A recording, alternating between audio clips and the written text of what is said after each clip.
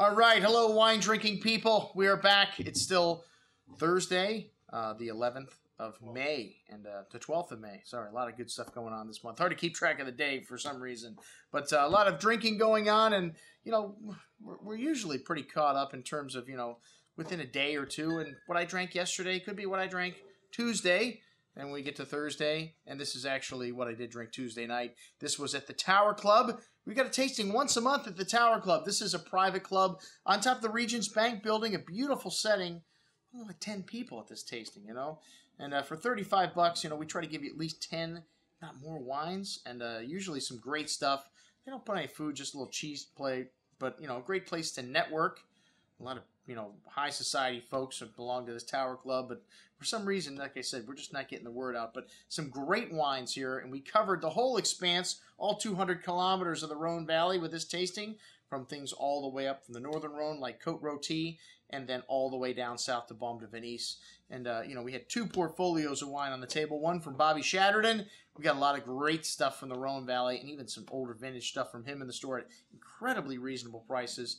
And then Jean-Luc Colombo's portfolio, with Jean-Luc is from Cornas and one of the lead flag bearers there. But some outstanding wines from Jean-Luc. And, uh, you know, here's a biodynamically, you know, farmed uh, vineyards that you can buy for $10 a bottle, some of his wines.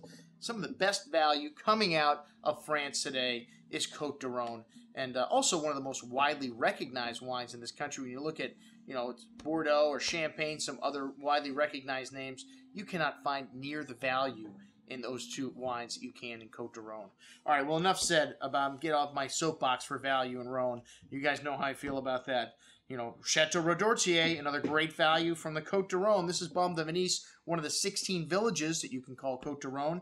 And uh, this wine has these lovely fresh berry pie like aromas, black raspberry, black cherry fruit, highlights of fresh picked flowers, herbs, a little hint of smoked uh, dried meats classic Southern Rhone bouquet. 2005, a little bit tannic of a vintage, but finally starting to roll around right now. This wine's good after it's been open for a couple hours, and even a day or two, and it'll last another 10 years in your cellar. One of the greatest values ever from the Côte de Rhone appellation, well, Beaumes de Venise. All right, next up, the André Perret Saint Joseph. Saint Joseph is an appellation that lies on both sides of the Rhone River and rather large, and you know you find some kind of innocuous stuff that's not really great from there. But you know this is uh, uh, one of the greater producers. It's in Chadderdon's portfolio, so you know notes of smoke, tobacco, spice, forest floor, an array of red currants and cherries and this lovely velvety texture on the tongue, drinking beautifully right now. The 2008 vintage, not considered a great vintage, but like 2006, 2004, not not quite as bad as 2002, but one that's drinking really nicely right now. A little hint of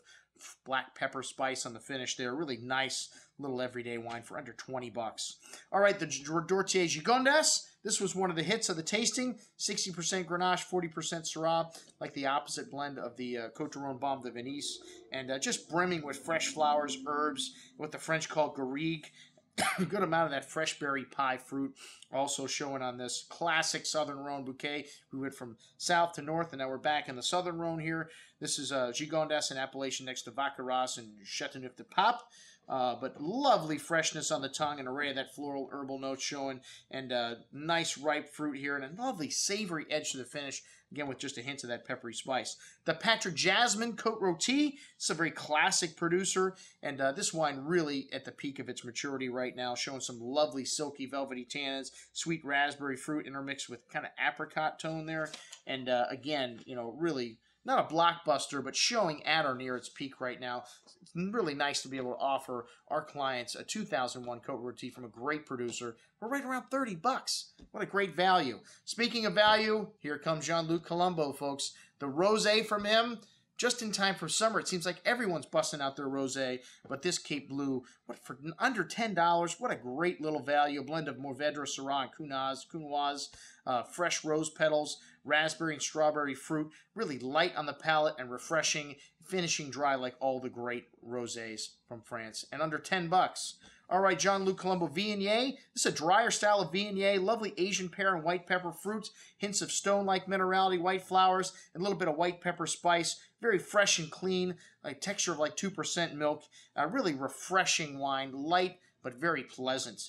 Um, next up, the Cote de Rhone Blanc, one of the best values in the store in white wine. Every time we show this wine, people fall in love with it. A blend of Viognier, Clairette, Roussanne, and Grenache Blanc.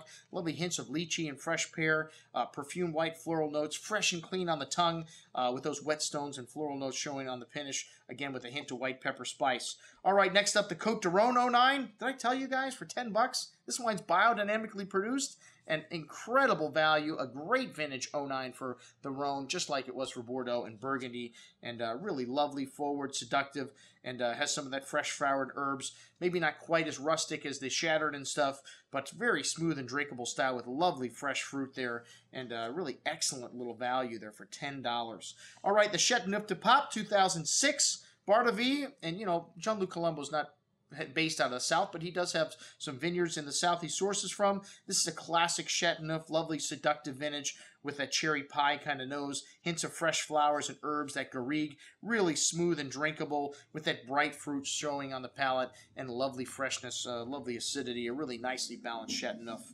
All right, next up, the Cornas Terres Brûlées. This is the money wine here, you know. They, we talked to Jean-Luc Colombos. This is a blend of 50% Syrah and 50% Syrah. It's 100% Syrah, folks. That's what they do in Cornas.